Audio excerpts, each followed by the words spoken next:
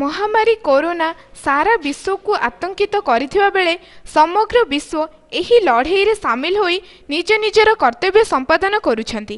ଏହି ଲଢ଼େଇରେ ପୋଲିସ ପ୍ରଶାସନ ଗୁରୁତ୍ୱପୂର୍ଣ୍ଣ ଭୂମିକା ଗ୍ରହଣ କରୁଥିବାରୁ ସେମାନଙ୍କୁ ଉତ୍ସାହିତ କରିବା ପାଇଁ କନୁଆଗାଁ ବ୍ଲକରେ ସ୍ଥାନୀୟ ଯୁବକ ସମାଜ ପକ୍ଷରୁ ମଣ୍ଟୁ ଜେନାଙ୍କ ନେତୃତ୍ୱରେ ଯୁବକ ସମାଜ ମିଶି ପୋଲିସ କର୍ମଚାରୀମାନଙ୍କୁ ରନ୍ଧା ଖାଦ୍ୟ ବଣ୍ଟନ କରିଛନ୍ତି।